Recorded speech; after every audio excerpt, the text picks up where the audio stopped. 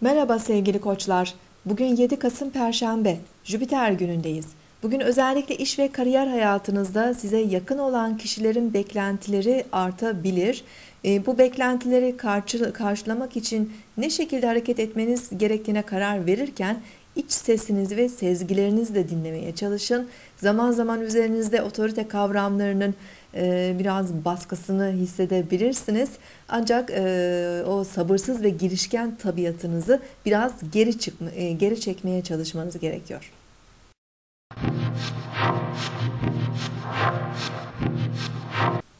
Burcunuzu dinlediniz.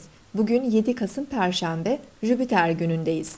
Oğlak burcunda ilerleyen ay güne çalışkan, ciddi ve biraz karamsar enerjiler veriyor.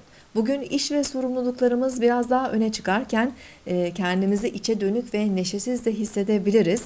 Öğle saatlerinde Oğlak burcundaki ay Plüton'la kavuşacak ve ardından Uranüs'le kare açı yapacak. Kararlı ve hırslı tavırlarla önemli işlerimizle ilgilenebiliriz bugün. Ancak bazı baskı ve beklenmeyen durumlara karşı da hazırlıklı olmalıyız. Özellikle duygusal baskılar, stres ilişkilerimizde gerginlikler yaratabilir. Ee, öncü grup burçlar koç, terazi, oğlak e, ve yengeç burçları bu etkiyi daha yoğun hissedebilirler. Akşam saatlerinde Ay, Güneş ve Satürn'e sekstil açı yapacak ve sert etkiler bir miktar dağılacak. Dengede kalmamız akşam saatleri daha kolay olabilir.